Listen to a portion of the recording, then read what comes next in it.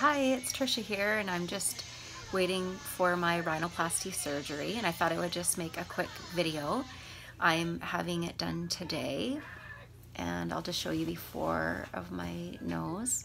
Basically why I wanted to have it done is because of my side profile that I feel that my nose is too um, long and so they're going to correct it and it will be lifted a bit and shortened at the tip.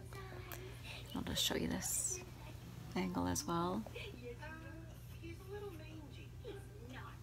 And I am just chilling in the waiting room right now with my family actually, so I'll just show you them.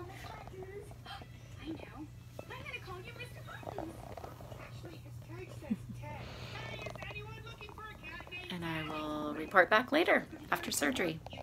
Thanks for joining me.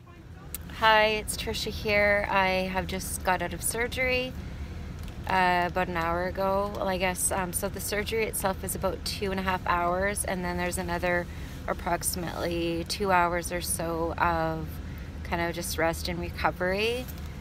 I'm getting, or have, black eyes, uh, which I understand will be worse tomorrow. I feel good. I mean, I guess I'm on pain medication, so I'm not really feeling the pain right now. But if anything, it's just more kind of a bit of discomfort. And uh, yeah, so, so far, so good. We'll see how this goes tomorrow. Okay, bye.